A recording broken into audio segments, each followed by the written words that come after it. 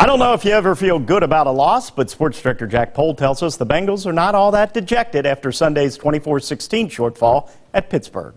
Thanks a lot, Hutch. The Bengals are one and one after suffering that tough loss to the Pittsburgh Steelers on Sunday afternoon. But coming off back-to-back road games to open the season, that may not be such a bad place to be. And while the sting of the loss to the Steelers is still with them, Cincinnati is ready to move on with a great attitude to boot. Uh, I think we knew this season that the, the beginning of the schedule was going to be a, a challenge and, and a, lot, a, big challenge, and so uh, you know we came into this game with an opportunity to, to steal one on the road and and uh, just didn't quite enough convert enough third downs and, and, get touchdowns in the red zone to be able to do it. And, uh, but you, you slugged it out the whole game. You, are going to learn. You're going to grow.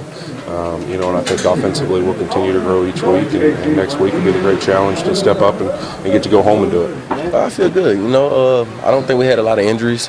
Uh, we just got to, you know, uh, watch a little film, correct a few things uh, that we had missed counters on, you know, um, and the defense, we just got to play much better, you know. We we played good, but we got to play better. Yeah, I mean, we feel like uh, this will be a good tape to learn from. And big thing, we we've got to move past this game. We've got to get ready. We're playing a uh, really good team next week. When the, like you said, um, Broncos they won the championship last year. So, um, but yeah, we've got to take the tape. We've got to look at it and uh, see the areas we need to improve. You know, it's early in the year. It's the second game of the season. We're one and one. That's where we are now, and we got uh, the Super Bowl champions uh, next game. So we got to continue to get better and be ready for them. Well, the Bengals will have to face the defending Super Bowl champion Broncos on Sunday in the home opener. They will not have to face Peyton Manning, who is off in retirement doing insurance and DirecTV commercials.